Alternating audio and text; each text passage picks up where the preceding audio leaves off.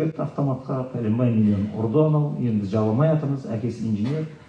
Енді енді міне қоя ма деп уже жауып жауып қайта қайта үш ай төрт айда бұрқ еткізіп он мың жиырма мың долларға кіргізіп жібереді дейді енді біттік дей берген кезде ктл бітірген екінші үлкен астанада ақша тауып отқан баламның қасында төрт бес бандиті бар келіп тұр дейді мына балам бізге отыз миллион теңгеге кірді. Или семьяларымен төлеңдер квартираңды сатасың ба білмеймін шаруам жоқ короче. Сонымен ол бала ақшаны төлеймін деп англияға құлпынай теремін деп қашып кеткен. Как айтамын саған дейді да ол құлпынай теріп ақша қарызын жаба ма ол дейді да сонымен енді екі фронтқа соғысып жатырмын мен білмеймін мынаны қашан біз төлеп бітеміз қашан ол бітеді. Көрдің енді кеше осыдан екі күн бұрын сейілхан бала жолға іздеп келе жатырмын деп солтүстік қазақстаннан бір бизнесмен іздеп келеді. Жасы алпыста сақалы қойған қазақша тақия барлық өмірде мен ұтылдым біттім уже дейді да неге десем кішкентай кезімде жас кезімде ақша тауып бәрін қатырақ аламын дедім дағыны уақытымның бәрі осы энергияны сарқып жұмсап жібердім маған дейді да сосын енді уже бізде қалада облыс орталығында рухани деградация қатты кетті да соны тоқтатамын деп. Ең соңында қолымнан келген бір жатақхана соқтым да отыз бес орын тегін бердім. Сөйтіп ол жерге жаңағыдай жатақхана ала алмай қалған қалаға үйренбеген ауылдан келген қыздарды орналастырып қала өміріне бейімдеймін деп істеген бірақ бәрі кері әсер етті. Оны тоқтатамын дедім дағыны мешіттен молаларды шақырып уағыз тыңдап олар вообще қашып кетті да жерден. Сонымен келіңдер опыт алмасайық не істеп жатсыңдар мынаны қалай тоқтатуға болады деп сұрайды. Енді ол үшін енді кішкене тарихына ары қарап кету керек та енді бұл бәле неден басталды деп. Енді бұл жерде бұған қазақшасына бұл қазақша қуыс кеуде болып кетті деген кезде жалпы бұл диагнозды жиырма алтыншы жылы қойған виктор франкл. Е негізі осындай бәле бар мынау негізі өте ә, сендер сақ болыңдар деп ше. Себебі рухани білім рухани ілім деген нәрсеге жеңіл қарай беріп қарай беріп қарай беріп ескіліктің сарқын шағы жаңа прогресс басталды ғылым басталды психология неше түрлі құпия ашып жатыр деген ысырып ысырып ысырып ең соңында андай жағдайға түскен кезде европа бірінші екінші дүниежүзілік соғысқа кіріп кетеді дағы басы бәлеге қалып қырық бесінші жылы зорға тоқтатып оның орнына сосын экзистенциялық психотерапия экзистенциялық философия деген екі ғылым шығады. Олар тікелей саған мына дінді ұстан деп айта алмайды өйтіп айтатын шамасы жоқ уже бәрі қашып кеткен одан оның орнына сен басқа бір бітелген деген адамды алады да кеуде экзистенциялық вакуум деген сөзбен ауыстырып тастайды. Сонымен енді жіберіп келесің. Енді қазақтардікі не үшін асқынып кетті біздегі мысалы кеше ғана екі күн бұрын балалар айтып жатыр естідің ба? дейді. Не десем? Ажырасудан уже қазақстан бірінші орынға шықты дейді да әлем бойынша. Енді оны біз бұрыннан сезіп жүргенбіз. Ә, шамадан тыс қатты кетіп бара жатқан. Сосын мына жаңағы лудомания анау ақшаға кіру ойынға кіру деген чересчур қатты кетті. Сосын мектептегі суицид деген оны есептей алмайсың оны. Өйткені бір жерге барып суицид туралы айтайын десең келеді дағы саған айтады құлағыңа сыбырлайды бізде заң бар суицид туралы айтуға болмайды ол сөзді естісе одан сайын құтырады прокуратура статистиканы төмендетіп көрсетіңдер деп айтқан дейді дағы сен оны төмендетіп тастайсың ана жерден ойбай ештеңесі жоқ бәрі нормально ал негізі ол асқынып кеткен жақсы мақұл енді нағып енді бізбен салыстырғанда экономикасы әлсіз өзбектер біздің алдымызда емес қырғыздар алдымызда емес анау неде жабық мемлекетте отырған түркмендер жоғары емес былай қарап тұрсақ енді қазақстан деген өте жақсы кетіп бара жатқан ел болып есептелеміз ғой біраз жермен салыстырғанда.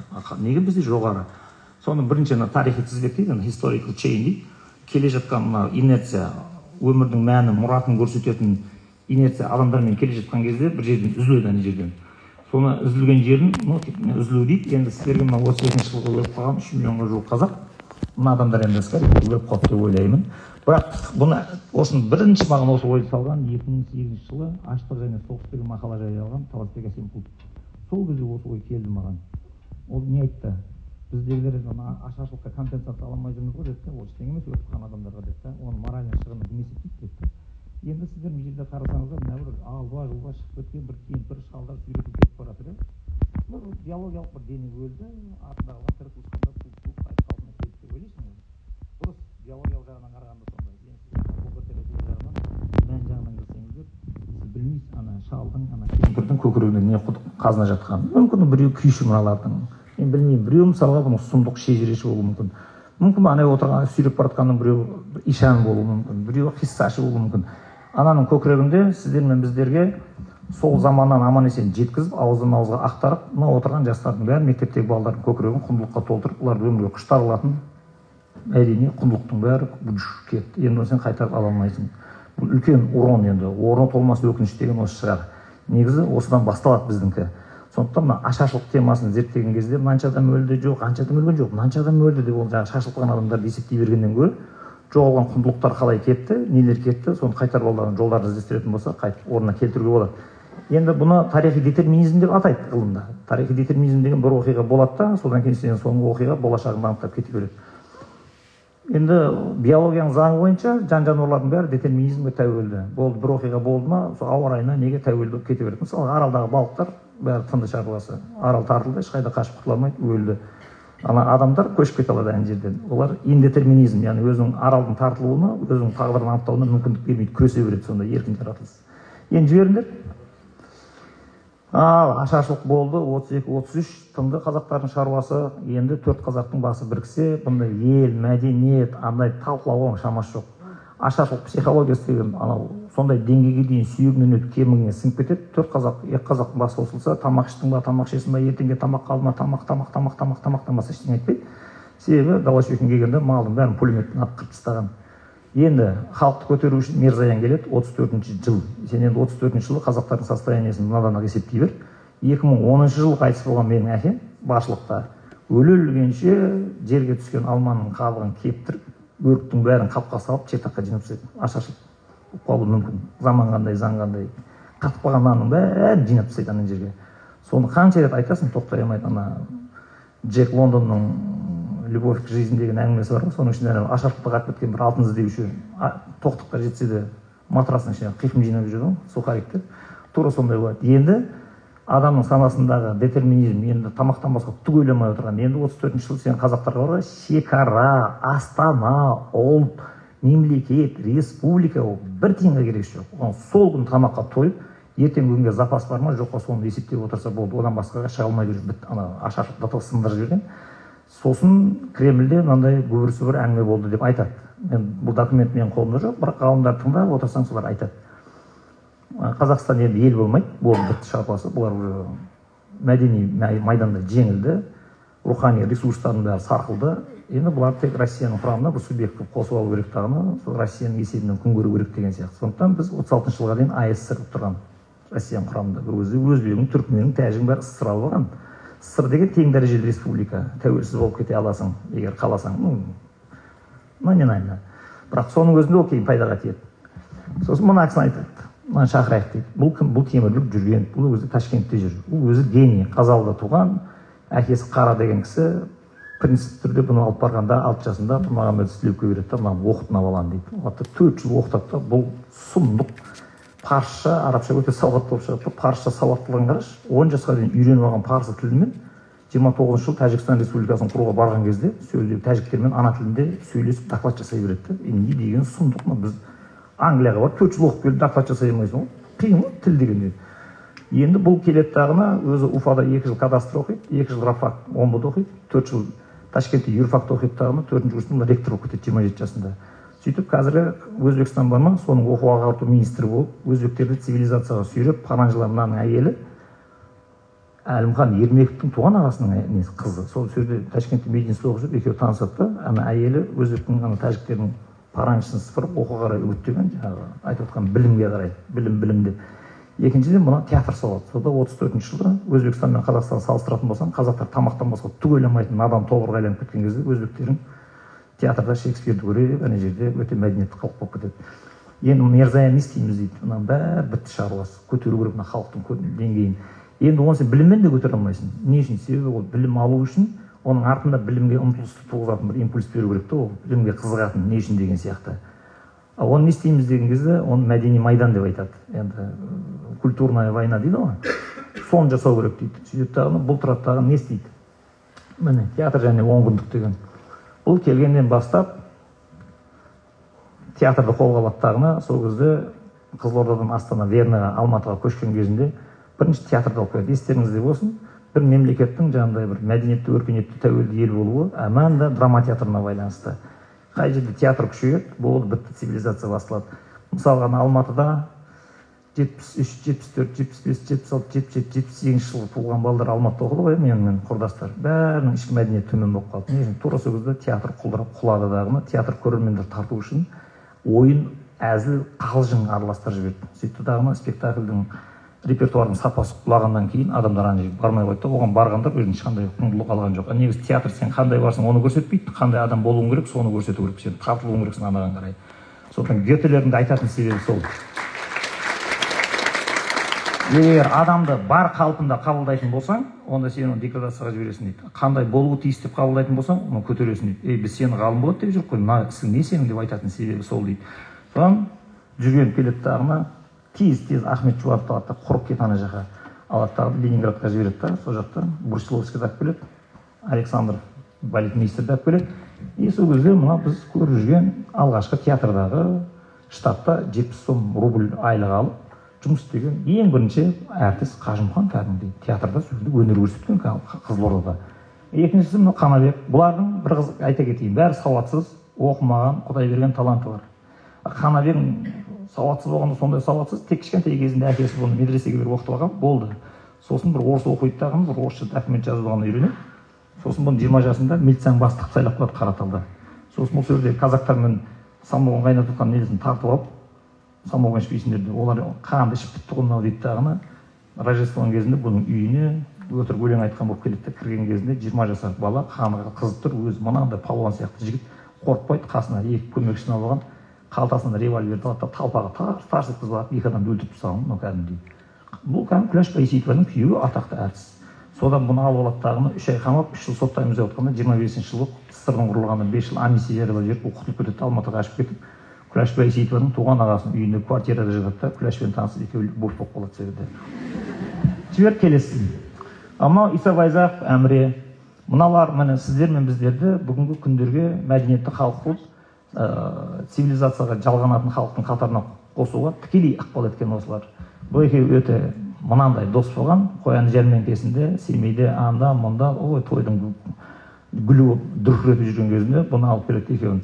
Сонда алматыда ана неге жарнаманы ілген кезінде бүгін кешке театрға келіңіздер. Соңынан иса байзақов пен әміре қашаубаев ән салады. Қажымұқан соңынан темір көрсетіп жаңағы сындырып көрсет, өнер көрсетеді дегенде ана адамдардың бәрі көп келіп өзі үлкен мынандай әдемі театр болмаған есік терезесін бәрін сындырып тастайды аналар тесіктен кіре беріп кіре беріп.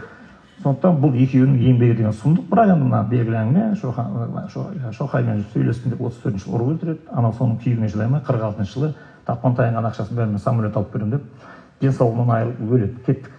Бұлар тоқтамаймыз. Мынау міне бізге тәуелсіздік алып беруге тікелей қатты көмектесіп қазақтардың духын көтерген екеуі мынау шара жиенқұлова бұл өзі бұл бұл да оқымаған и оқуға түскен кезінде бір чиновниктің тоқал қылып аламын дейді да содан қорқып қашып кетеді оқуын тастап сосын қайтып келген кезінде театрға келеді да бұл биші болып кетеді. Бәрін темір болып жүргенін ұстап алады әрқайсысын жеке жеке ұстап алады дағы отырасың мына жерге деп. Анау көз ашып біледі мемлекетті қалай құру керек екенін. Бұлар мемлекет дегенді білмейді. Анау жиырма үш жасындағы бибігүл төлегенова ол да өзі педтехникумда оқып жүрген жерінен оқудан шығып кетеді бұны ана қанабек жүр кет мен сені жұмат жолықтырамын деп алып театрға кіргізіп жіберетін. Содан өңшең таланттар жиналып алған. Бірақ енді ана қазақтар мәдени шөпті бітті бұлардың шаруасы деп отырған кезінде он күндік атақты отыз алтыншы жылғы май айындағы декада өтеді. Сөйтеді дағыны үш ай срок беремін үш айдың ішінде үш жүз адам москваға кетесіңдер. Барып москваны бізбен санасатын қыласыңдар. Мына қазақтар олардың көзінде бір әлі көшіп қонып жүрген мәдениетті білмейді операны білмейді ән салуды білмейді бір алба жұлба жаңағыдай бір тымақ киіп алған біреулер келеді деп есептеген ғой аналар сол жаққа барған кезде аналардың прежюдис дейді ғой түрікше түріктен аударсаң өн жарғы өн жарғылардың бәрін сындырып тастаңдар аналардың дейді. Сонымен бұлар барады да брусиловский опера қыз жібек операсын жазып енді ол кезде күләш байсейітованың дауысының сапасының қандай екенін анықтайтын мамандар жоқ ол кезде мынаның дауысы мынандай деген жоқ қой. Консерватория жоқ. Ана жаққа барады дағы бұл бұлбұл құсап сайраған кезінде ол кезде қыз жібек операсы төрт сағат болады. Сталин келіп отырады кетейін десе кете алмайды қызық анау. Сонымен қайта қайта оны ленинградта отырғандар естіп қояды да ағылып он күн у шу шулап радио газеттің бәрі қақсап ана отыз төртінші жылы отыз алтыншы жылы тамақтан басқа түк айтпайтын тек ашаршылық темасына кіріп алған қазақтарды бірінші балшықтан суырып алады. Сөйтті да отыз алтыншы жылдың декабрінде өткізбе өткізбе ана неге? Күләш апам апара тұр. Сөйтті дағы отыз алтыншы жылы бірінші рет тамақтан басқа түгел алмайтын қазақтар бірінші рет мәдениет туралы ойлап заводтарға магазиндерге домбыра мандолин гармон аккордеонға заказ береді да сол кезде өседі ана жерден. Көрдің уже ананы үйрену деген сол үшін шығып жатыр мына күләштің істеген жұмысы деген сұмдық біз қазір бұларды ұмытып анда санда ютубтан бір айтып жатса я көресің я көрмейсің содан бастап отыз алтыншы жылы аср болып тұрған қазақты темірбек жүргенов әртістерді апарып ана мәдени майданда қорқытты. Е міне біз осындай бөлек елміз деп сөйтіп қазақстанға қазақ сср деген статусты отыз алтыншы жылы ең соңынан декабрьде береді. Енді тоқсан бірінші жыл болады сср тарайын деп жатыр ельцин алады тағына атақты сөзін білесіздер ғой. Берите суверенитет сколько можете проглотить дейтін. Сол кезде ал суверенитеттеріңді алып құрыңдар деген кезінде баяғы ссср деген статус алған елдердің бәрі оп оңай ың шыңсыз бір оқ атпай шығып кетеді да. Біздің ана ұялмақ ұятсыз атамыз ғана ельциннің балағына жабысып отырып алады е құрысайшы бөлек елсің ғой деп. Біздің россиядан кейін алатын себебіміз сол. Егер егер мына жерде қазір мына рахаттанып диастар мына елдің бәрін жинап алып гүл гүл ойнап отырсыздар ғой мына жерде рахаттанып иә сол кезде мына темірбектер мәдени майдан жариялап ана жаққа барып сындырып москваны ана ссср деген статус алып бермей ана татарстан мен башқұртстан босап қалып кететін болсаң шешенстан босап болды бітті тәуелсіздік жоқ соның құрамында қаласың. Онда не болады? Онда мына жерде тұрған еркектердің қазір біреуі қалмайды бұл жерде. Бұлардың бәрі украинада соғысқа кетеді. Ананың құрамында қарсы сен атырауда атырауға баршы шлагбаумның бергі беті қазақстан қазақ балдар рахаттанып өмір сүріп жатыр. Шлагбаумның арғы беті россия. Ар жақтағылардың бәрін астрахан қазақтан соғысқа кетіп қалды. Бәрін апарды менсурупқа салып тастады. Көрдің ба? Тәуелсіздік деген адам ойнайтын зат емес та. Ол әзілдеп қалжыңдап бүйтіп жүрдім бардым қарайтын зат емес та. Ол сұрақ қойылады осы жерде. Е саған тәуелсіздік не үшін керек егер сен қарның тою үшін анау үшін экономикалық әлеуметтік дейтін болсаң әйтеуір қытайдың құрамына кіре иә.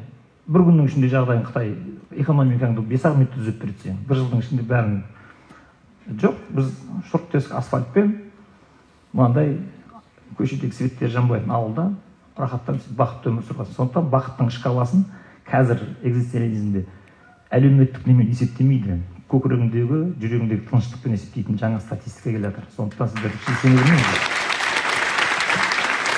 ал күләш апамызды өздеріңіз білесіздер пекинге баратын кезде алты ұялмақ ұятсыз үстінен арыз жазады да содан бұл көтере алмай жүрегі ауырып өліп қалады. Естелік жаза алмай қалады орнына қана келіп жатады. Күйеуі шара жиенқұлова сексен үшінші жылы. Өмірім менің өнерім деген атақты кітап. Естелік ал оқысаңыздар көздеріңіз ашылып өмірге деген құштарлықтарыңыз артып ішіне темірбектің қалай алып келгенін қалай дайындағанын бәрін жеткізіп тастаған ана жерден түгін қоймай. Бірақ одан да қатты жазатын еді егер сыр болмағанда. Бірақ қысым анау сотталып кеткен адам сосын жай жай жай жай жай жай жай жай жіберген аттың басын. Кеттік.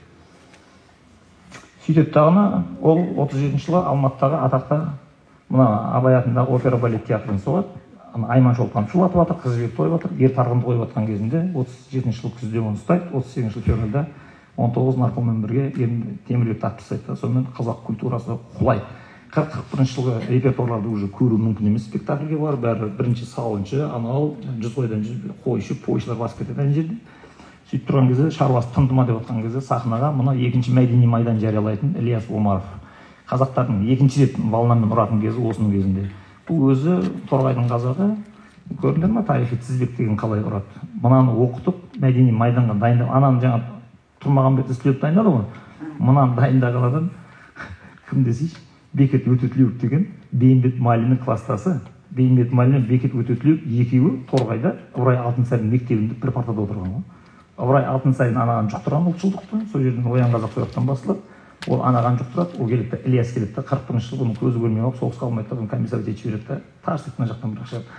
Сөйтеді да давай кеттік жігіттер жұмыс істейміз дейді. Қарсы қасына ертіп алған адамдарын жібер. Жібере сал сосын қайтып келеміз. Тоқта. Мынау мына сіздер мен біздерді қазақтарды сіздер әлі де сауатты халық көзі ашық халық біз талантты халықпыз дейсіздер ғой иә дұрыс. Былай өзі бұрын келе жатқан жақсы бір генетикасы бар былай генофонды бай. Бірақ елдің арасынан бір елді өрге сүйрейтін бір ғалым шықпайтын болса бар ма? Ештеңе де істей алмайсың. Кәдімгі тұрған тұрысыңда тобыр болып жол тауып шыға алмайсың. Сол кезде құдай сақтап мына екі гигант сахнаға шыға келеді. И бұлардың артында ақшамен бұларды культурный войнаны жүргізіңдер деп кім тұр? Ілияс омаров тұр. Сөйтеді дағыны бұлар майданға кеткен жауынгерлердің рухын көтереміз.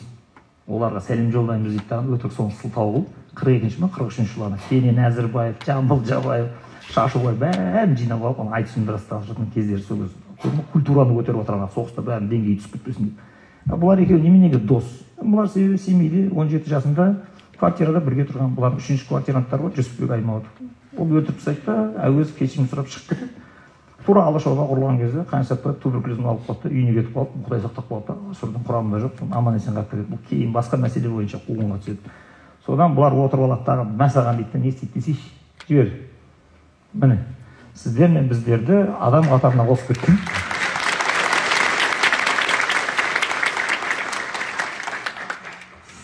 сол кездегі қазақтардың көкірегіндегі үңірейген бостықтың бәрін құндылықпен толтыру үшін мынау құрылады сөйтеді дағыны бұл қазақ академиясы мынаны ашу деген қияметтің қиыны. Бұны қаныш сәтбаев асқан айлакерлікпен істейді. Соғыс кезінде эвакуация болған ғалымдардың бәрін алматыға келіп жайғастырады да бәрінің жағдайын жасап біреуінің темекісін тасып біреуінің зонтигін әкеліп беріп біреуінің шайын әкеліп беріп төрт жыл бес жыл асты үстіне түседі да қырық алтыншы жылы рамның директоры комаровқа барады да алматыдан машина мына жерге қол қоя бер дейді. Әйелінің көңілін табады да әйел айтады берсейші қолды кеше енді қаныш сәтбаевтың үйінде жаттық қой кезінде жарайды мақұл тарс еткізіп қол қояды да ждановқа барып көрсетеді да ашылсын деп анау постановление шығарады да ақша бөлінеді. да қырық алтыншы жылы ленин мавзолейін соққан атақты архитекторды алматыға алып келіп қаныш сәтбаев басы қасында жүріп осы жерде соғады мынаны. Енді қызықты қара жақсы бұның ішінде зоология институты ашылып жатыр ботаника ашылып жатыр экономистер жиналып жатыр анау мынау. Бірақ басыңа бәле бәрібір жабысады. Не үшін? Себебі қырық бірінші жылы соғыс басталып жатқан кезінде қазақтардың соғысқа барып соғысу үшін панфилов дивизиясы тұр момышұлының батальоны тұр ана жерде кетейін деп. Шаяхмет перронға шығып сөз сөйлейді ана жерде. Ал қазақтар енді намысқа тырысыңдар отанды жауға бермеңдер кенесарының әруағы қолдасын махамбеттің әруағы қолдасын исатайдың әруағы қолдасын. Енді ол кезде қазақтың өзінің төл діні ештеңе артық әңгіме жоқ. О ура ура! деп бәрі айқайлап әруақ әруақ деп билеп кетіп қалдылар. Соғысып жатыр ана жерде қырық төртінші жылы сталин өзін жеңетінін біледі дағы. Все болды. Никакой әруақ никакой батыр короче теманы жабыңдар дейді да арнайы комиссия жібереді. Бірінші башкирияға барады қырық төртінші жылы сосын казанға барады. Сөйтіп дағыны алтын орданың кезіндегі тарихты оқымайсыңдар бірде бір батырдың атын атамайсыңдар ұлттық батырларын ұлықтамайсыңдар соғыста көрсеттіңдер ерлік сол жетеді. Все қойыңдар бұл әңгімені дейді да қырық бесінші жылы қазақтарға келеді кезек. Сөйтіп мынаның ішіне алты ғалым қазақша судай қазақ әдебиетінің бәрін ішіп алады оқып алады. Сөйтеді дағыны әкесін танытып қаныш сәтбаевтың үстінен өкіртіп арыз жазады өздеріңіз білетін атақты кімнің мына егер мен елу екінші жылы туылған болсам қазір мені жиырма бес жылға соттап жібереді. Не үшін? Тек қана қисса айтқаным үшін ғана. Себебі ана жеті жылға сотталып кеткендердің бәрі сол ертегімен қисса жинағандар. Не үшін? Себебі осындай адамдарды жинап алады дағыны ананың көкірегіне қайдағыны жайдағыны айтып салып басын біріктіре береді ортақ мәдени құндылық болмаса мына ыдырау процесі тоқтамайды. Бөлшектеніп кете бересің кете бересің кете бересің кете бересің. Сөйтеді дағыны мына алтауы қаныш сәтбаевтың үстінен арыз жазған кезінде не үшін жазады? Себебі ол жиырма екінші жылы томскіде оқып жүрген кезінде библиотекада отырып алып бір орыстың саяхатшысының фольклортанушыны жинап тастап кеткен едіге деген жырын тауып алып соны жиырма төртінші жылы едіге жыры деген редакция жасап москвадан барып кітап қылып шығармай ма? Қырық алтыншы елу екінші жылы үстінен келеді дағы бұл баяғыда ескілікті аңсаушы. Қазақ сср ғылым академиясының президенті қаныш сәтбаев деген оңбаған. Солай да солай кезінде едігені жинаған дейді да үстінен арызды айдайды соны айтыс татыс мына жақта ілияс омаров бар анау бар мынау бар әй ырың стенограммасы бәрі сақталып қалған кім сатқын кім кімнің сөзін сөйледі бәрін оқи аласыңдар бәрі тұр архивте ешкім ешнәрсе кеткен жоқ содан не, не болды бұлардың басына мен сияқты ертегі жинайтын сүлейменов біреу қажы жұмали біреу абай зерттейтін қали хан біреуі тарих зерттейтін бекмахан жетеуін ұстап алды да мә саған жиырма бес жылға соттайды бар кетіңдер деп енді алтын орда дәуірін зерттейтін болсаңдар енді қазақ хандарын ұлықтайтын болсаңдар балаңа едіге деп адамның атын қоятын болсаң батырдың мойныңды жылан дейді. Оны пожалуйста кеуде деген кітап сатып алсаңдар соның ішінде ол документ тұр. Бастан аяқ оны мен не істедім?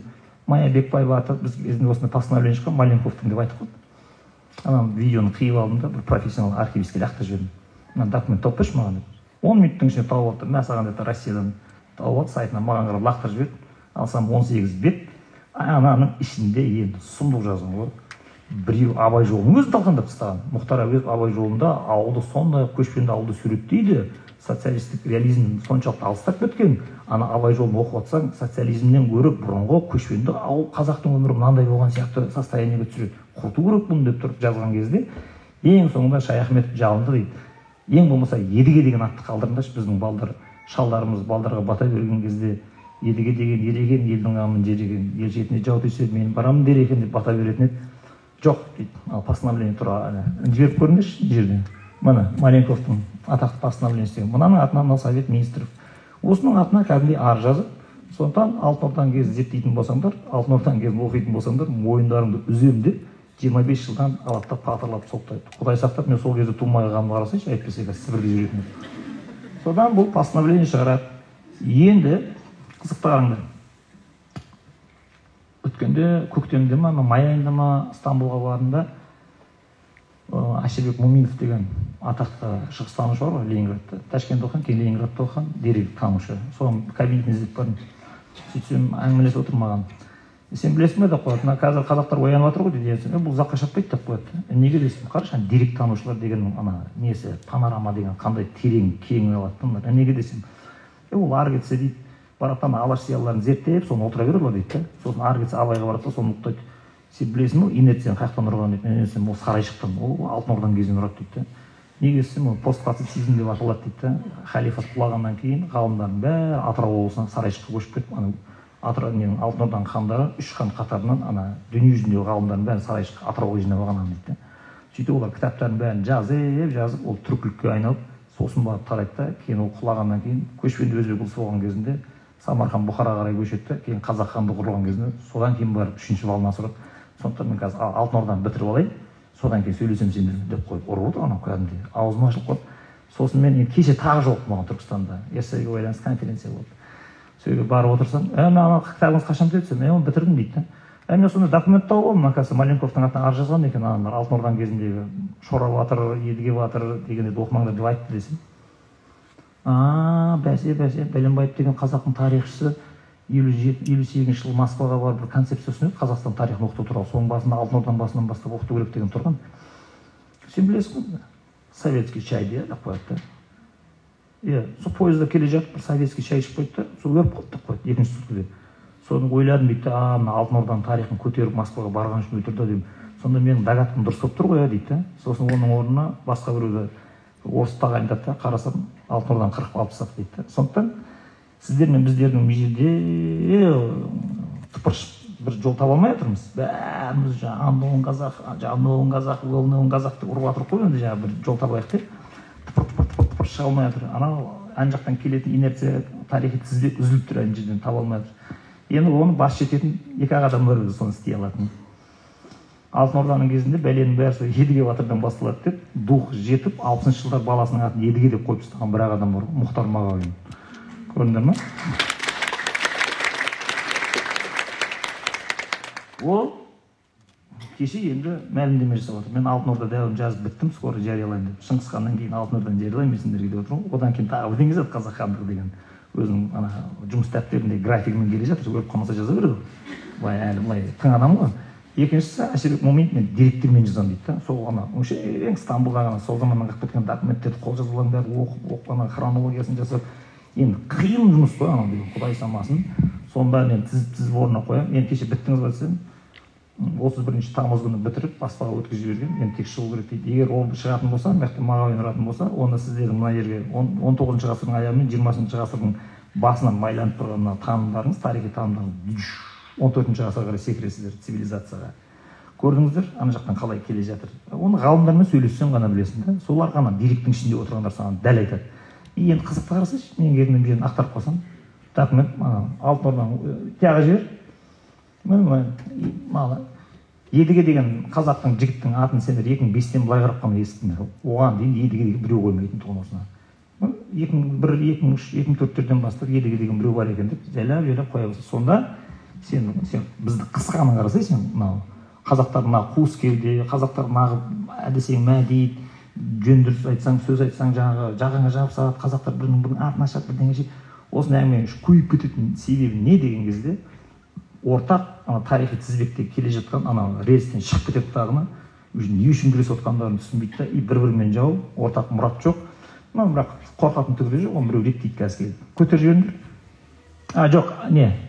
Иә дұрыс жібер а міне соғыстың көкесі енді жігіттердің бәрі жеті жігіт ойбайлап сотталып кетті. Қаныш сәтбаев академияны тастап москваға қашып кетті. Жаққа барады дағы ана академиктерге беретін тегін коттеджінде әйелі таисия екеуі тығылып төрт ай жатып жатып іші пысып ешқандай қызметтің керегі жоқ мен үйіме қайтарыңдар деп.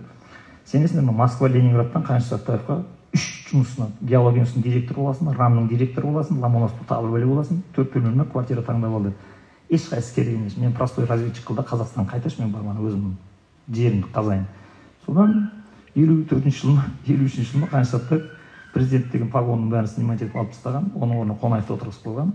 Бұл әшейін простой разведчик болып павлодарда жүреді қаңғып қартайған кезінде. Бірақ кейіннен елу жетіде қайтып орнына алып келіп отырғызады оны.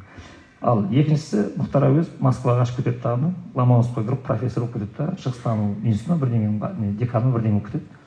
Біреуі ахмет жұбанов. Пекин палас деген ресторанда елу үшінші жылы дирижер болып күн көреді төртіншісі ілияс омаров мен партийный школға барамын че то коммунист иманым әлсіреп кетті деп өтірік алдап оқуға қашып кетеді дағы төртеуі сол жақта қашып. елу үшінші жылы сталин өлгеннен кейін хрущев елу алтыншы жылы ма анау партияның он бір бәлесін съезінде алады дағы все болды. Жеке басқа табылым деген дұрыс емес деп жариялап қайтадан переговор басталады да тәшеновтер араласады пономаренко араласады бұрынғы ғалымдар араласады сотталып кеткен жетеуді қайтарып алады енді келгендерді қарасайшы жаңағы. Біздің замандағыларды әшейін сен условно соттап жіберсең бақырып шақырып жылап елдің бәріне страшно көтерме ана жерден ақша жинап. Не деген адамдар деймін да жеті жыл барып сібірге соттап жүреді келеді пойыздан түсіп бір біріне телефон соғады да жігіттер қай жақтасыңдар мен келдім баяғы жұмысты істейік та деп істеп жатқан жұмыстар мынау мына жинап алған құндылықтың бәрін алады да қайтадан жариялайды сөйтіп. Қажым жұмалиев пен сырбай мәуленов алпыс екінші жылы батырлар жырын шығарып тастайды. Мынау сіздер мен біздердің барып ана хускилен оқып көріңдерші естеліктерді. Батырлар жырын оқып өстік үйттік бүйттік. Ой естелік деген тор ғой әкеңнен шешеңнен барып сұрап көрші ол да жетіспейді. алпыс төртінші жылы ленинградтағы мелодия деген компания алматыдан филиалын ашады дағыны ал жігіттер басыңдар дейді дағыны айман шолпан мұңлық зарлық қыз жібек алпамыс ер төстік ертегі пертегі не бар?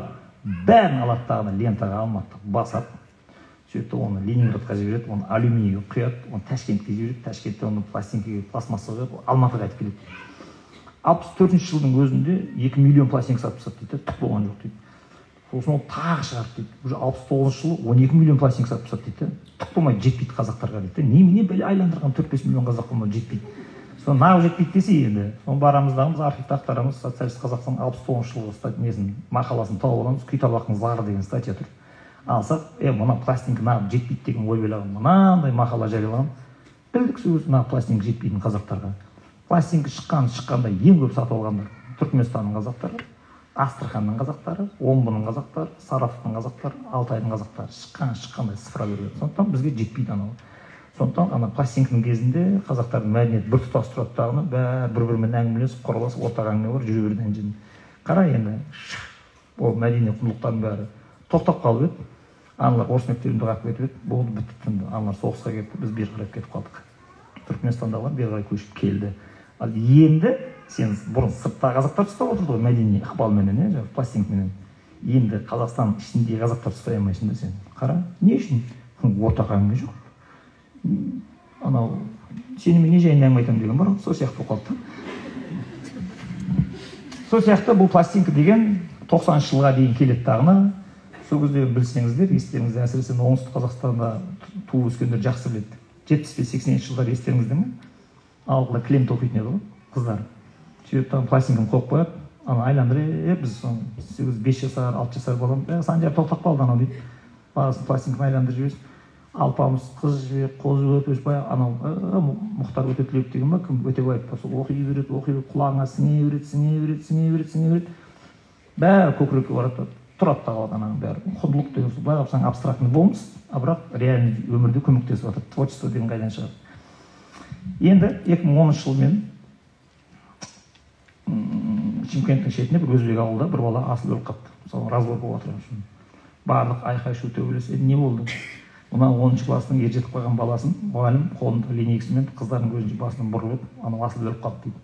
Соны апай кінәлі деп жатыр ғой енді. Сосын мен апайдың кінәсі жоқ. Неге өйтіп линейкамен ұрған өле беретін болса сексенінші жылдары бір оқушы сауғалмау керек бәрін керек қой өйткені сексен тоғызыншы жылы тура сондай оқиға болып менің химия пәні мұғалімі баланы темірмен ұрған кезінде ол бұғып қалып бір қыздың көзін шығарып жіберді сол мен қыздардың көзінше темірмен әбден сабаған ана жерде. Бірақ көрдің ба ол жетпіс тоғызыншы жылы жетпіс сегізінші жылы тыңдаған пластинкадан өткен құндылықтардың бәрі жырлардың бәрі сенің көкірегіңе сіңіп кеткен. Ана ударды өткізбейді сен. Өлу үйге барып у ішемін анау мынау. Миыңа кіріп те шықпайды да. Қара енді екі мың жиырмасыншы жыл болып мұғалімдер бәрін айтып жатыр қазіргі балалардың психикасы әлсіз қатты сөйлемеңдер өліп қалуы мүмкін. Екі жыл бұрын біреу қолына соткасын алып қойып еді алтыншы этаждан секіріп кеттім. Көрдің? Кеуде деген осындай нәрсе. Ол оқыған орысша ағып тұр ағылшынша сайрап тұр айлсты қиратып жатыр ұбытын жапырып бара жатыр. Бәрі күшті. Қолындағы соткасын алып басына линейкасымен бұрылса кетті ана жерден көрдің? Анау енді сол кездегі клемт оқып отырған кезіндегі осы пластинкаларды тыңдап өскен әйелдердің бәрін көз алдымызда отыр. Біреу жеңгем болды менің. сексен бесінші жыл горбачевтың несі қант жоғалып кетті алкогольдер басып кетті ішкіш ауылдың бәрі. Ойпырмай ажыраспайды ғой семьяларын сүйреп кетіп бара жатыр анасы тоқсаныншы жыл болды союз құлады. А барахолкамен екі ортадан тәпішке сату ала дорба соған кіріп кетті ана әйелдер ше. Сөйтіп қайтадан жартылай еркекке айналып қайтадан тоқсан сегізінші жылы қазақстан жағдайы жақсарып ақша пайда болды. Қайтадан баяғы сұлу әйел қайтадан қайтып келіп алды адамдар. Не деген не? Қара осының бәрін бұрын былай білетін тұғынбыз а? Бұрын пластинка деген болған деп. Подробностьтарын бәрін кеше білдік қой ана қопардық қой ана астына. Деректердің бәрін кәдімгі кім істеді екен мынаны деп. Сөйтсек сонда ғылым академиясында отырған әдебиет және тіл институтындағы ғалымдар соның бірін істеп жүрген. Отырып алады дағыны бәленің бәрі ана тіл арқылы тарайтын жаңағы мәдени құндылықтарға байланысты дейді да. Бір әріп бір не үшін сөйлем мақал мәтел ана қанабек жаңағы шарап бәріне қартайып бара жатқан кезде сол ғылым ғалымдар үйіндегі ғалымдар әрқайсысының үйіне магнитофонмен арнайы жіберіп бәрін запись жасап алған бәрін кітап қылып тастаған. Енді біздің заманда қара әлі де бибігүл төлегенова сияқты әлі де көзді көрген мықты мықты адамдар өмір сүріп жатыр. Ананы барып өмірін жазып алу кітап қылып алып қалу ана бір дәуірдің тарихын өзімен бірге әкетіп бара жатыр деген ешкімнің миына кірмейді. Мысалға өткенде өзбек әлінің көзін көргенде мен атырауға бардым жетпіс бесте гүлжан талпақова деген атақты биші отыр. Алдым бәрі толған тарих. Шәкен істестім қонаевтың қолынан медаль алдым өзбек әлімен бірге бармаған жерім жоқ. Анау мынау мен бір целый бір эпоханың москваның атақты кинорежиссерларымен жұмыс істедім ананы көрдім мынаны көрдім. Қарашы бір дәуірдің тарихы менімен бірге кетіп бара жатыр. Санжарова менің де өмірімді бір алып қалмайсыңдар ма деп айтып жатыр да. Ол үшін сен атырауда жатуың керек сол жерде жігіттерге айтып кеттім е мынау деген ертең сендерге қуыс кеуде ауруын туғызады мына бір дәуірдің картинасын өзімен бірге құндылығын әкетіп бара жатқан адам мынаның аузынан шыққан әрбір сөзі жазылады болды сәке қатырамыз дейді білмеймін атырауда біздің ауылдың балалары көбейіп кеткен ба чимкенттен хоп дейді болды одан кейін. Иә. Біздің ауылға барсаң сондай ғой. Ана нәрсені барып қайту керек еді сен. Болды сәке барып тұрсыз ғой барып тұрсыз ғой. Әпше бітіп тұр ғой әпше. Өмір өтпейді да ол шаруа. Соны жаман біртүрлі болып қалды ана тірлік бітпегеніне. Жіберіңдер ары қарай. Неге? Қыз жібекке қарай жіберші? Жоқ қыз жібекке қарай. Тоқта. Мысалға мына мәдени майданды қатты қазақтардың духын көтерген адамдардың біреуі мынау ілияс омаров мынау сіздер ойлайсыз ғой қыз жібекті сұлтан қожық түсірді ол кезде бүкіл ақшаның бәрі министерствода болады. Министр қолында ақша бермесе бастамаса. Ештеңе қазіргі жекеменшік продюсермен айтасыз деген жоқ ана біреу ақшасын алып келіп режиссер жалдап түсіре беретін. Сосын тұрады дағыны қыз жібек түсіресің деп. Не үшін ол өйтеді? Себебі ілияс омаров торғайдың жігіті алтынсарин мектебінің өкілі. Оның барып сценарийін жаз деп отырған. Ғабит мүсірепов ол да сол қостанайдікі бәрі бір аквалет давай мына спектакльді киноға айналдырды да сценарий жаздырады ал ол кезде бұлар мемлекет анау мынау дегенді ойлайтын шамасы жоқ құманың ол кезде жиырма жасар бала анау он жеті жасар қыз анау жиырма төрт жасар красавчик соған мәз болып жүрген бұлар бұлардың бәрін алып алады да мәдени майданды қайтадан жариялайды қыз жібекті алыңдар да бүгін кешке қайтадан көріңдер сол кезде ана сырлыбай қолындағы асатаяғын қашап отырады ғой руникалық жазулар жазып отыр ғой сол жерде сен өзің ойла сен алпыс жетінші жылы сөйтіп ұстаған ананы қалай балбал тастардағы анау нелерді эмблемаларды көрсетіп отыр. Ғой баяғы ғұндардың деп. Соның бәрін түсіріп түсіріп түсіріп түсіріп монтаждап білдірмей салып жібереді. И бұл алпыс жетінші жылы мәдениет министрі болып тұрады да жетпісінші жылы қыз жібек түсіріліп бітіп жатқан кезде ракпен ауырады да өліп қалады ильяс омаров.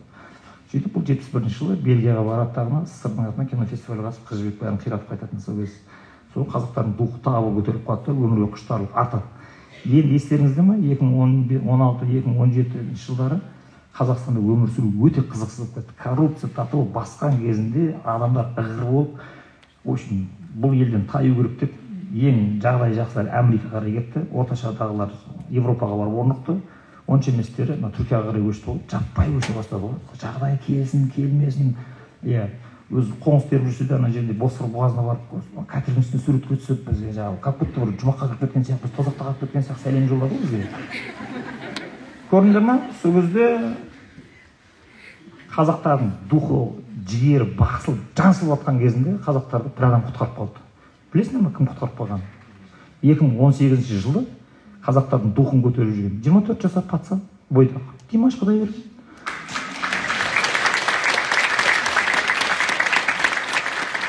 Бүкіл әлемге тарап кеткен қазақтардың бәрі құтырып шыға келді ғой. Сосын қазақтардың менталитетін білесіңдер. Атақты біреу көрсе ей бұл өзіміздің бала ғой деп шыға келді жерден былтыр анталияда концерті болып мен ол кезде кайсериде оқып жатқанмын. Әйел бала шағам барамыз деді анаған. Димашты көреміз деп болып барған соны көрген концерт болып жатыр анау мынау. Соны бір кезде димаш ал енді қазақша өлең айтамыз дейді фанаттары құдай салмасын бразилия вьетнам бәле колумбиядан жиналып алған аналар қазақша хормен өлең айтамын десе ана телефонға қарап тілдері келмейді сақауланып бірдеңені айтады. Сол біздің әйел бала шаға қосылып шырқайды енді құдайлар беріп. Тұрып айтады десең қазақсың ба? десе иә қазақстаннанмын деген ғой. Жанында отырып димаш танисың ба? деген әйелім қызды қызымен туған қайным деп ұрып жіберген ғой. Вот сондай қазақ менталитет деген. Ой біздің ауылдың баласы ол деп шыға келеді. Танымайды да оны. Көрдің сол сияқты бұл гәптің бәрі мәдениетте жатыр. Мына қазір кеттік жібереміз ары қарай. Бағана қайтып келейік. Аха. Жібер. Аха мынаны қара. Қисса дәстүрінің өлуі орыс мектептері дейді. Өздеріңіз білесіздер мынау атақты картина бұны салған бір орыс па еврей ба бір қатыны өзі мына аты сказка деп аталады.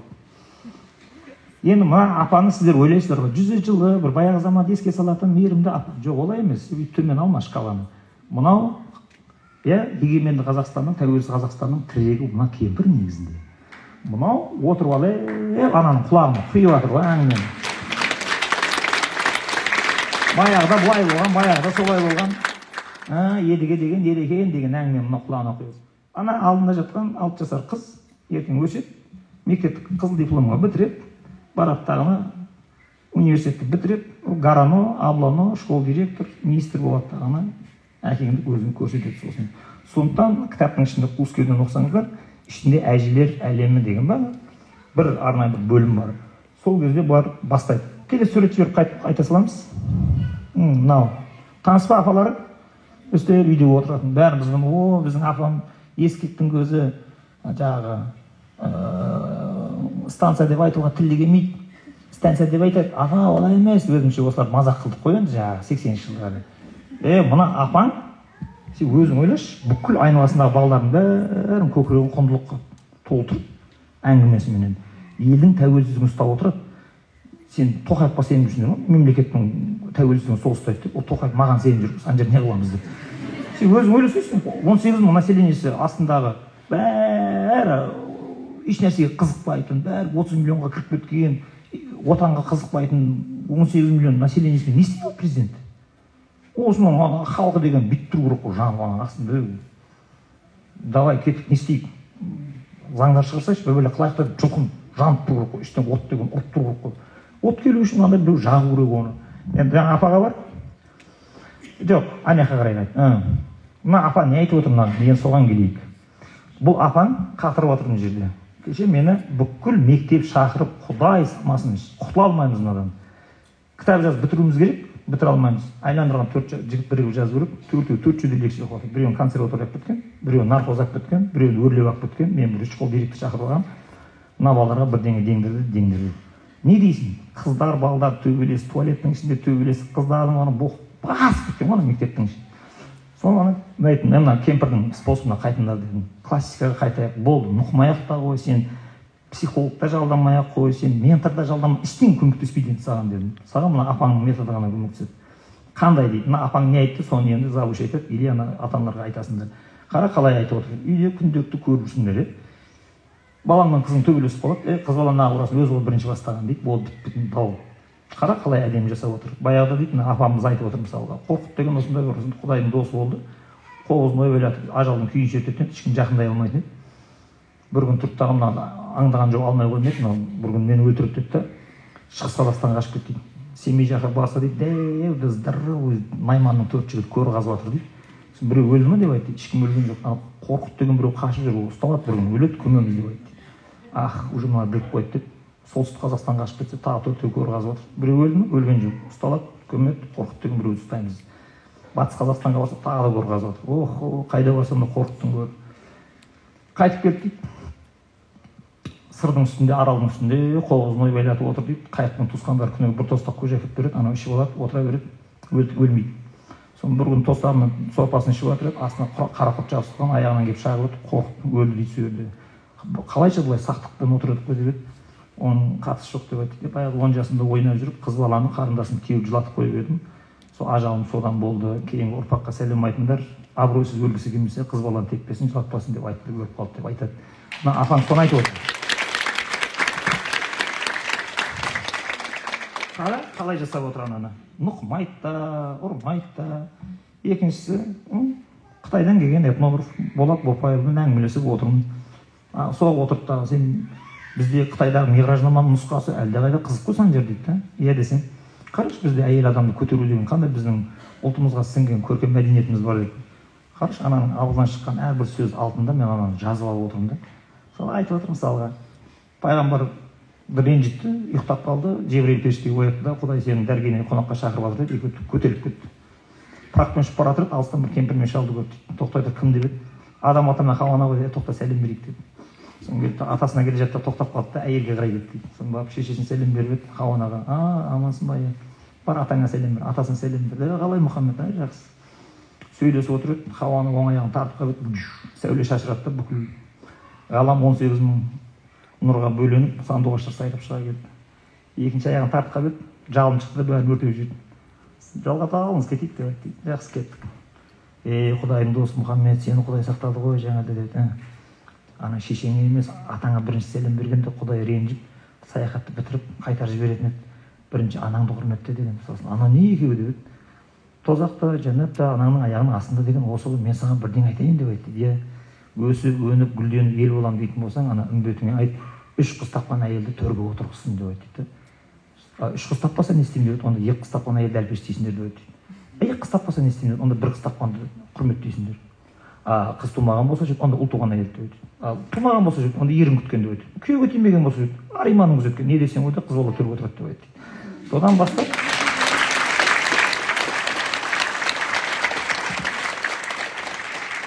мемлекеттің тәуелсіздігін қалай ұстайды? Көрдіңдер ма? Ана қыз баланы сөйтіп екінші сортты қылып ысырасың ба? Басың бәлеге қалады. Не үшін? Ұлтты әйелдер ғана ұстап тұрады. Қара мен бір ай болды үйімді көрген жоқпын мысалға барамын үйіме? Күніге осы қаңғып жүресің. А менің бала шағамның қазіргі тағдыры кімнің қолында? Үйімде әйелімнің қолында. Ол надан ба? Болды бітті шаруа сосын сен. Қайтып барған кезде шашың жартысын сарыға жартысын қызылға бояп қойған мұрның тесік болған біреумен амандасасың. Соны үйде әйелің ғана бақылап отырады. Енді тағы да бір қызықты қараңдар е мектептің миы ашып жатыр қазір иә кеше бардық. Ана бәлелер бізге бәле болды. Анау мынау космополит деген директор ұрысып жатыр да. Сосын тұрып айттым мен сізге бір қыз айтып берейін ба иә деп осындай жатыр екі мың он төртінші жылы лондонда тіл оқып жатырмық сөйтсе үш консерватор отырмыз да жаңағы сабақта. Итальянка отыр сосын жаңағы марк отыр. Мұғалім ғой шал. Алпысқа келіп қойған мен отырмын. Бір кезде айтты да киара сенің ана нең сырғаң дәңгілің дейді ғой ана салбыратқан мұрныңды тесіп тағы біреу салбыратып қоймадың ба деп жек көремін мен сондайды деді да енді лондонда біреудің сырға пырғасына қатысты әңгіме айтатын болсаң соттап жібереді апасына. Ойнауға болмайды. Ана өзіміз отыр екенбіз ғой давай аттың басын жіберейік деді анау шал.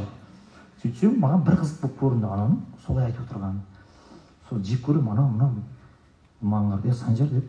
Осы сендерде қазақстанда қалай мына жігіттер сырға таға ма былай нормально ма? Ешкім қой демей ме дейді да сосын марк деді енді қазақтарда енді жаңағы imposing morals дейді ғой. Навязывать етіп бүйтіп жабысып отырмаймыз. Бізде енді жанама түрде болады ғой дәстүр бойынша қалай деп. Енді мына баяғыда ыбырайым пайғамбар жүреді құдай тағала айтты сараға үйлен одан ұл туады одан тараған ұрпақ көп болады деді сараға үйленеді сара тоқсанға келді кемпір болды туған жоқ пұшпағы қанамады енді тоқсанға келген кемпір тумайды тоқал ал деді да үйінде жүрген. Бибі ажарды тоқалға алып беріп артынша бала көтеріп ойбай мына токсикоз болды ойбай жылы жұмсақтың бәрін аузына тосып өліп бара жатыр анау жұмыс істемейді жатады кемпір ұрып жүр ана жерден содан бір күні сара дейді далада ұршық иіріп отырса әзәзілге азғырды дейді ананы. О сорлы сара сорлы сары бағашым маған сен бір сорлы қатын болдың ғой деп айтты. Неге? деп еді жетпіс жылына шалдың отымен кіріп күлмен шыққанда не таптың сен? Бүкіл атақ абыройдың бәрін тоқалап кетті сол енді өздеріңіз білесіздер ғой енді әйелдердің ең әлсіз жері қызғаншақтық деген. Сол кезде аяқ қолы қалшылдап кетті да ана құдайдың атымен ант етемін мен бұл тоқалды өйтіп тайраңдатып қоймаймын керек болса екі жерден пышақтаймын мен бұны деп айтты. Дейді әзәзіл уәдесін алып кетіп қалды дейді. Сонымен ұйықтап отырып жебірейіл періште келді тұр деп айтты түнде. Түс көреді түсінде ғажап түс көріп мына мына шыбық егіліп орман болып кетті. Құдайдың құдіретіне шәк келтірмеді сен түсіндің ба тоқсанға келсең де туасың сен деп айтты. Азанда тұрды настроениесі жақсы шал бері кел деп айтты. Осындай осындай қызық хабар келіп жатыр ана жақтан. Иә туатын болдық.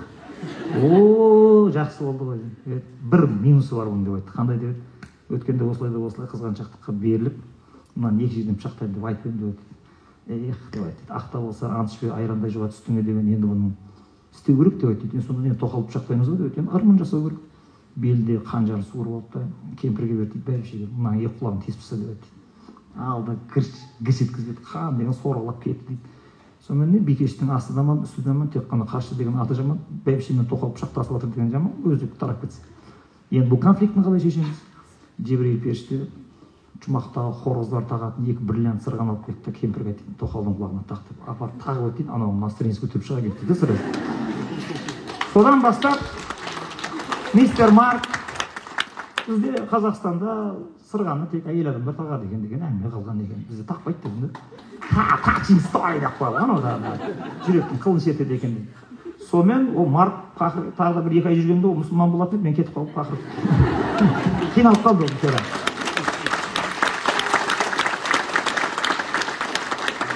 енді осы инерция қалай әлсіреді деген кезде қонаевтың дәуірін білесіздер бір жылдың ішінде ма он жылдың ішінде ма жеті жүз қазақ мектебін жауып тастайды мына бала орыс мектебіне барғаннан кейін болды бітті цепочка үзіледі тағы да ана кемпірдің айтып отқан әңгімесі былай қарап өтпейді. Сондықтан осы жерден кризис қазақтың ең қиын кезеңі. Ух жақсы болды ғой айналайын ай.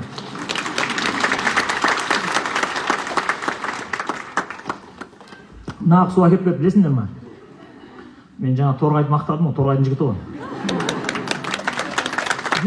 А орыс мектебі деген осы. Сондықтан тағы да қайталап айтамын. Тәуелсіздікті ең біздің неміз ұлы байлығымыз қазір ол тәуелсіздік тәуелсіздіктен айырылдың ба болды бір тілің де әдебиетің анау праволарыңа да ие бола алмай қаласың екінші сортты қылып сені таптап езіп жаншып тастайды а тәуелсіздікті ұстап тұрғың келсе оның астында мәдениет жатыр а мәдениетті сен орысша ала алмайсың ана жауып тастаған сондықтан тәуелсіздігін сақтағың келетін болса ана сепаратистік россияға қарап ұлт тұратын бейшаралығыңды сындыру үшін баланы қазақ мектебіне бересің ана жерден сосын қазақ тілін күшейтетін назгүл қожабек сияқты сосын қазграммердің жігіттері сияқты жігіттерді көрген кезде ассалаумағалейкум екі қолдан амандасу керекпін олармен осылар міне. Сондықтан енді мына жерде жасы отыз бестен қырықтан қырық бестен асқан келіншектер болды енді. Әжеңіз жоқ баяғыдай бұл тарихи тізбек үзілді. Қайтадан индетерминизм тізбекті өзің жалғайсың. Барасың ана жерден айнұр барасың қисса сатып аласың сияр сатып аласың мың сұрап сатып аласың экософияны сатып аласың. Күніге балаңа жарты сағат осыны үйретесің. Тіл де қайтып келеді мәдениет те қайтып келеді күй де қайтып келеді бәрі қайтадан қалпына келеді. Енді иә тағы да жібере сал. Осы тұрсын өзбекәлі өзбекәлі тұрсын. Кеше осындай бір жерге бардық бір қалада отырғызып қойып школ директорлар мақтанып жатыр менің мектебімнен пәлен ұбт шыққанбыз өйткенбіз сөйткенбіз бізде жүзде жүз грант алады деп. Бұны ғылымда негізі редукционизм деп атайды естеріңізде болсын. Редукционизм деген сөз адамды биік деңгейдегі қайраткерлік мәдени қайраткерлік мәдени майданда жүретін адамды әншейін тек ұбт да потолок балл жинайтын мектептің рейтингісін көтеретін материал ретінде қарау. Мен айттым ана балдардың бәріне директорлар өңшең отыр екен осындай жиналыс. Дәл осылай балмен рейтинг қуалай беретін болсаңдар қазақстан тәуелсіздігін құлатасыңдар сендер дедім. Мектеп онымен есептелмейді балмен. Ол немен есептелу керек. Біздің мектептен мынандай мәдени саяси қайраткер шықты деп қана есептеледі. Көрдіңіздер ма сондықтан мен өзімнің бірде бір баламды я орыс мектебін я спецшколы не пиш біреуіне берген емеспін. Өте апасын не үшін? Адамның мәдени саяси қайраткерлігін өлтіріп тастайды онда сен миыңа сондай қылып тұрып құяды сен үшін өмірдің мәні жоғарғы балл жинап есебін тауып америкаға секіріп кетсең бәрі сөйтіп ойлап жүр гугл компаниясына жұмысқа тұрады да америкадан маған қап қап ақша жібереді деп. Ол қуыс кеуде адам ол барғаннан кейін ол сені ұмытып та қалады. Өйткені артқы фон көрінбейді ғой. Көрдіңдер ма? Сондықтан ойнайтын зат емес. Ал мынау? Мынау үшінші мәдени майдан жариялайды. Так ілияс омаров жетпісінші жылы өледі. Ол өлген кезде мына оның несі? Шәкірті. Бұл кезде комсомолда секретарь бірінші хатшы болып тұрған қазақстандағы сөйтті ілияс омаров өлген кезде сахнаға бұл шығады. Бұл бірінші рет өзінің отыз төрт жасында торғай облысына о айдалаға лақтырып жібереді дағыны торғайды тақыр жерден көтеріп сол торғайда цивилизация жасап театр ашып көтеріліп мен ол туралы бөлек әңгіме өзбек әлі туралы кітап жазылып жатыр ол бітсе ол туралы келіп өзіміз екі сағат үш сағат өзіміз отырып шай ішеміз деген сияқты тек өзбек әліге бөлек жиналамыз. Түсіндің? Сондықтан бұл келеді дағыны айда бастайды бұны тағы да культурный ссылкаға жібереді жетпіс алтыншы жылы жетпіс сегізінші жылы бұл бірінші рет мәдениет министрінің орынбасары болып келеді. Сол кезде екі білегін сыланып тастайды дағыны бұл өте соғысудың шебері мастер. Саясатта дипломатияны өте қатты біледі. Сосын бұл да гений тура аналар сияқты. Тура өзбекәлі алғаш рет шарат жиенқұлова москваға баратын кезінде ананың бүкіл киімінің бәрін қалай тіктірсе ұлттық киім мынау гүлжан талқақова тура солай киіндірген адам оны кітаптан оқып аласыздар. Бұл одан кейін тұрады дағыны майданды жетпіс сегізінші жылы бастайды. Ең бірінші қайдан бастайды? Ең бірінші қазақстанның осы мәдени гүлденуіне бәріміздің өмірдің енді алтимит мининг деп айтады ағылшынша. Алтимит мининг деген сверх смысл қазақша өмірдің асыл мұраты деп аударады бүкіл халық әртүрлі ала құла болып тұрса да бір мәселеде бір направлениеға жылжып кету керек. Өмірдің мұраты біздің елдің мақсаты мынау деген. Сол кезде тарихи таным күшті болу үшін қазақтың жаңағы хандары батырлары көміліп жатқан түркістанда қожа ахмет яссауи мавзолейі бар да сіздер қазір көріп жүрген мавзолейдегі ремонт бар ма? Соның бәрін жетпіс сегізінші жылы бір өзі ішіне барады да тура мағынасында балағын түріп алып көйлегін шешіп тастап басына газеттен қалпақ киіп алып сол жерге барады да бұл жұмысқа араласады. Өзі табанының бәрі топырақ ойдым ойдым адамдар тәбәрік алып кеткен ішінде свет жоқ быт шыт болып құлап жатқан жерінен бұл бастайды сосын. Сөйтеді дағы кеттік.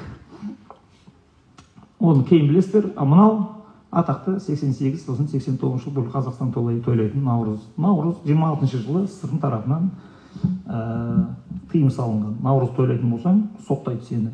Бірақ бұны торғайда жүрген кезінде бұның наурыз тойлаудың концепциясын жасайды қазақша. Бірақ атын өзгертіп жібереді өзбек әлі. Провод русской зимы деген өтірік ат қойып қояды.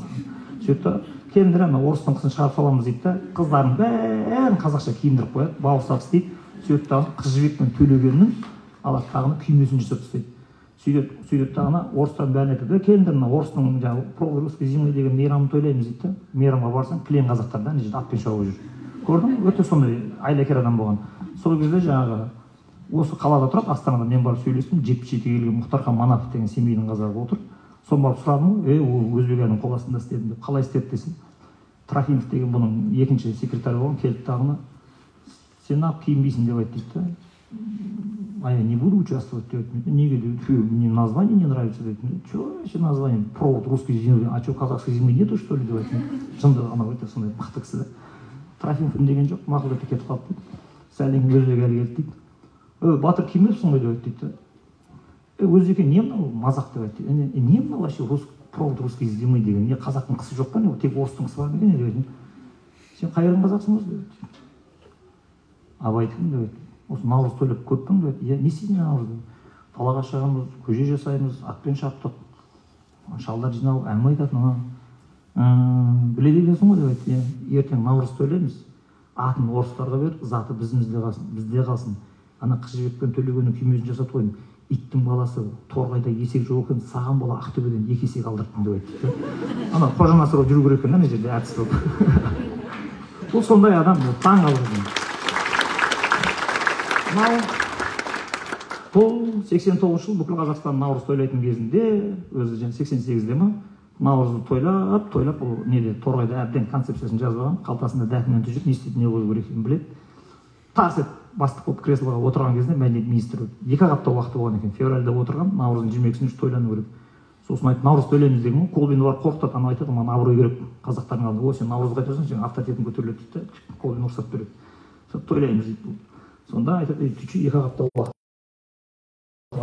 енді оны сол сексен тоғызыншы жылдары өмір сүрген адамдар мен сияқты балдар біледі сол кезде мен тоғыз оқимын бүкіл қазақстанды субботник жариялап көшенің бәрін тазалап шарбақтың бәрін.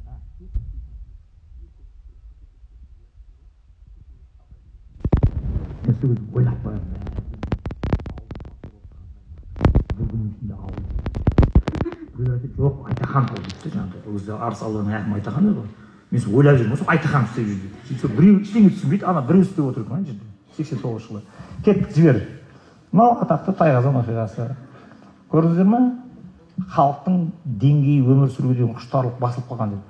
Бұл сексен тоғызыншы жылы қазақтар деген білесіңдер ме? Қазақстанның жағдайы қандай болған кір жоқ зубной паста жоқ қант жоқ жоқ аяқ киім жоқ жоқ басып кеткен ана жерде тек қана вермишель береді саған.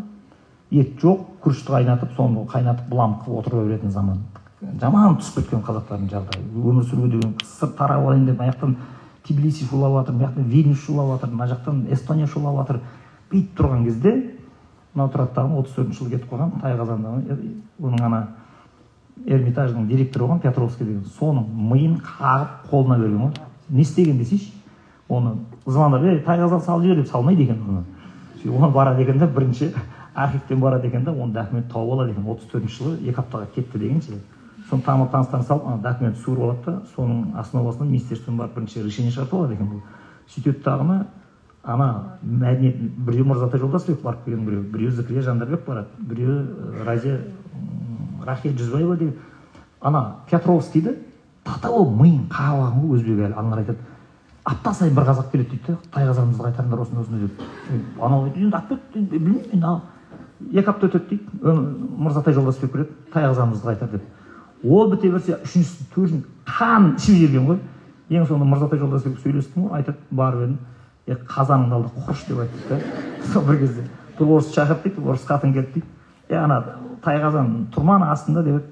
Тайқазан бар бірақ кенесарының басы жоқ деп айтты дейді. Оны қан ішіп қойған бар. Кенесарының басы кенесарының басы деп.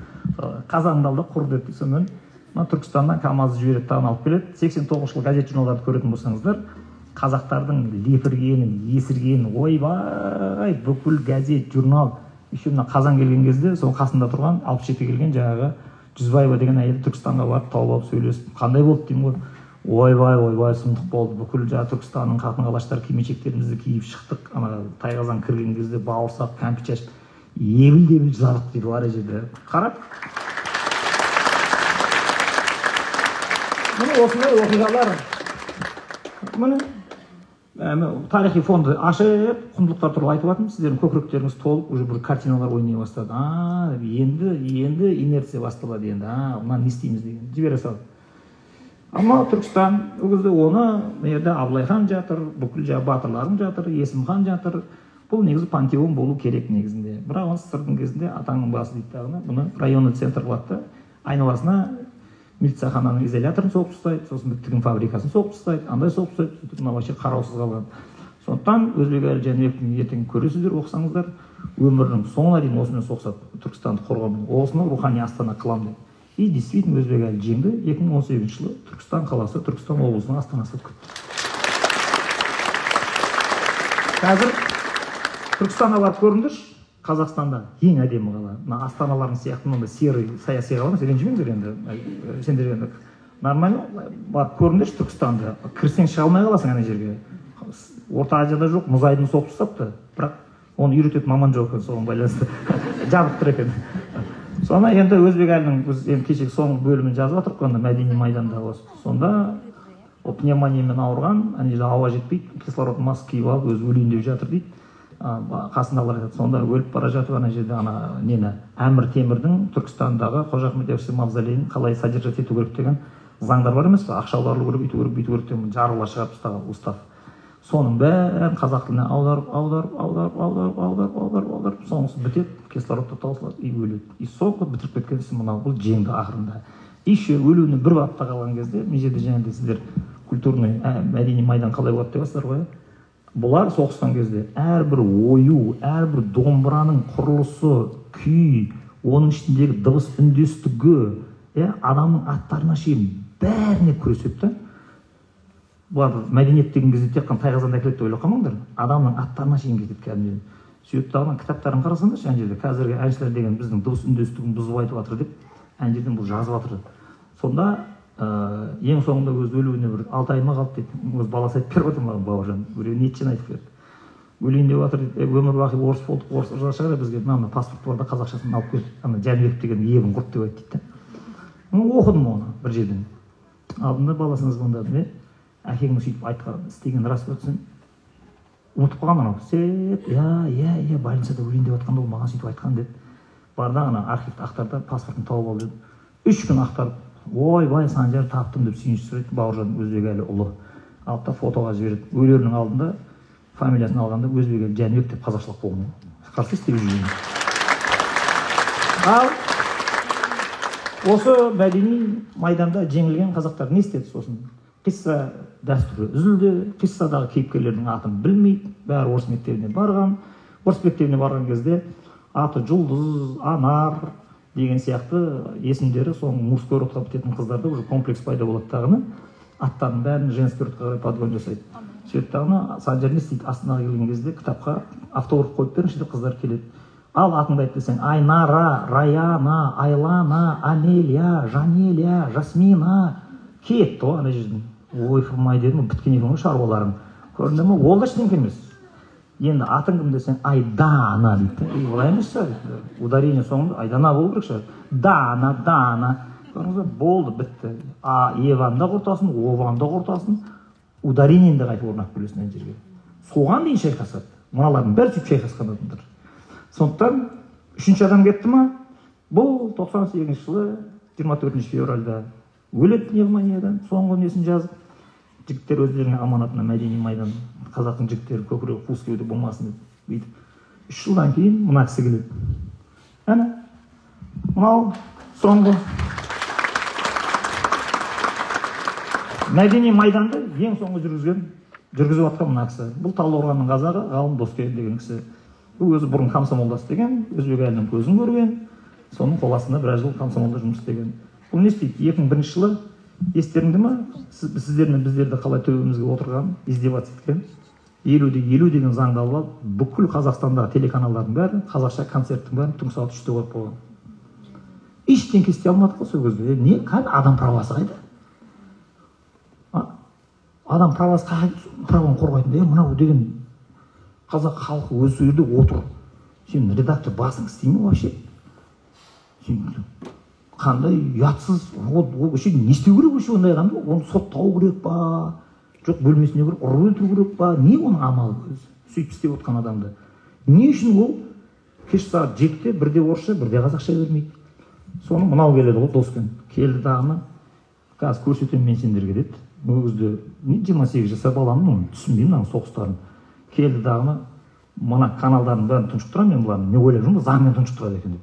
Сөйтсем қазір қатырамыз бұларды деп алды дағыны ана ә, республика сарайының ішінің бәрін өңшең парвиз назаров па юлдыз усман өңшең бір жаңағы соғдың мәдениеті басып кетті деді сөйтті дағыны кімді шақырып алды десейші ең бірінші екі мың екінші жылы енді көтеріліп бара жатқан өзі мейрамбек жұрт сәл сәл таниды сәкен майғазиевті бір адам танымайды.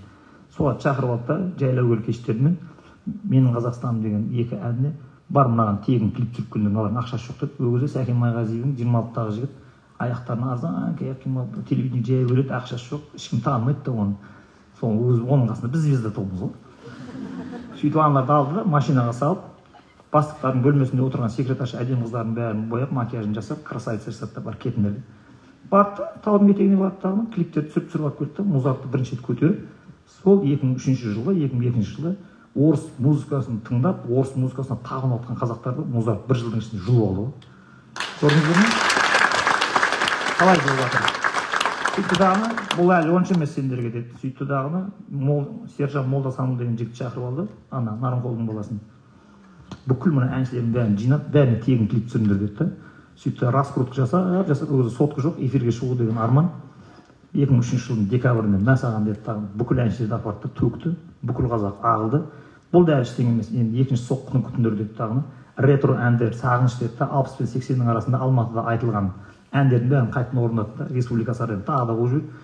Бұл да ештеңке емес енді сендерге бұдан да күштісін көрсетемін деді да екі мың бесінші жылы апрельде інжу маржан деген тек дәстүрлі өлең айтатын әншілердің бәрін жинап алып үш күн дүңкілдетті ғой ана республика сарайында сөйтіп қазақтардың бәрі сөніп құлап бара жатқан жерінен қайтып көтеріп алды ғой мынау сондықтан қазақтардың ең соңғы духының көтеріліп мәдени майданда көңіл күйі көтерілетін екі мың бір мен екі мың алтыда. Сол кезде сен жаңағы көріп жүрген мына жігіт алтын сақа бар ма алтын сақа бар ма? деп отырсың ғой.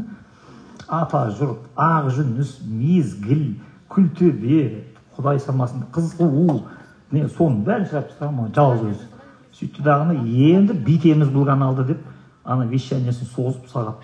Сенесіңдер ма? екі мың бесінші жылы ана сол кезде назарбаевтың қызы болып отырған дариғаның каналы хабармен ктк бәрін өшіріп рейтингісін жерге құлатты дағыны бүкіл қазақстанды тек ғалым доскеннің каналын көретін істеп тастады біреу істеп тастады осыны. Қалай иә деген қара культурная война деген қалай? Иә болды бітті. Сонымен иә уақыт бітті. Жоқ тұра тұра ана ана көкемнің. Мынау міне мәдениетсіз мәдениет министрі. Біздің сорымызға біткен адам осы. Ол ғалым доскенді екі мың алтыншы жылы орнынан алып тастады дағыны екі мың сегізде бірінші рет астана тойлайтын осы. Жібер. Жібер жібер жібер жібер. Мынау міне біздің басымызға бәле болып жабысқан. Бәленбай миллион. Жібер. А кім мынау? Мынау танымайсың сен дұрыс айтасың. Себебі ол алпыс сегізінші жылы тарап кеткен битлздың тірі көзі тірі экспонаты. Ол пол маккартни. Ал мынау екі мың он бесінші жылы наркоманка передозировка беріп қойған қара қатын уитни хьюстон. Оның дауысы отырып қалған. Осыны екі мың сегізінші жылы астанаға шақырып бір өлеңді.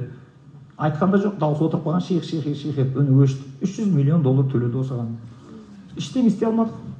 Ауызбіршілік деген жоқ бітті кетті. Жібер ал сол кезде біз айттық. Е пол маккартни не керек бізге? Бізге не деді білесіңдер ма мәдениетте шекара жоқ мәдениет деген адамзаттық ортақ құндылық біздің қазақтың жастары жабайы болмай да тыңдасын хьюстонды да тыңдасын түгенбайды да тыңдасын деп тыңдады енді не болады? Халықтың мәдени деңгейі көтеріледі е ойбай мақұл халықтың деңгейі көтеріледі міне былтыр наурызда астанадан алматыға тойлап кетіп қалады тамаққа таласып бір бірін қырып жеп қоя жаздады кәдімгі сендердің мәдени деңгейің көтергендерің кәдімгі білімің қайда сен? Ничто оқыған балдар қайда кетіп қалды болашақтан оқығандар қайда кетіп қалды көрінбей қалды ештеңе? Көрдіңіздер ма? Бәленің бәрі мына жақта жүріп жатады сондықтан болды осы мен тоқтата салыңыздар бітіремін. Енді мынаны жаттап алыңыздар. Экзистенциализм деген ғылымда өзі әр ғасырға атау беріп отырады. Он жетінші ғасырдың математика ғасыры он сегізінші ғасырда физика ғасыры он тоғызыншы ғасырда биология ғасыры жиырмасыншы ғасырда атом ғасыры жиырма бірінші ғасырда самый опасный век бессмысленный век деп айтады. Действительно сондай. Кім қай жаққа кетіп бара жатыр өмірін қалай аяқтайды? Оны не күтіп тұр ана жерде? Ол өзінің потенциалын қай жаққа салып жатыр. Мына ағартушылық мәдени майданға кіре ма кірмей ме өзінің артында фонды көре ме біреумен шаруасы жоқ. Ұрып бара жатыр ғой былай алдына қарай. Сондықтан керкегардтың айтатын нәрсесі солай. Өмірді қалай сүреміз деген кезде өткен ата бабаңның өміріне ұзақ уақыт мынандай контемплейшн дейді ғой. Созерцание жасап отырасың соның ішінен мәңгілік идеяны сүзіп аласың да осыны істеймін деп шешім қабылдайсың да алдыға қарай басасыңдар дейді. Сонымен әңгіме бітті. Қалғанын қуыс көзін оқып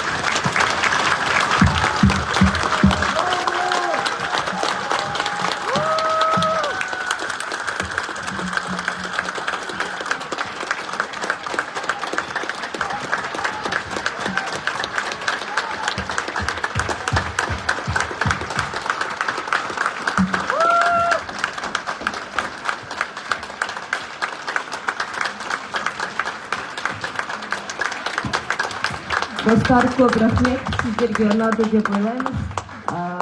Барлығымыз көңіліміз көтеріңкі болып тұр. Көп рахмет келгендеріңізге. Келесі айда кездесеміз. Біздің мерчті сатып алсаңыздар болады.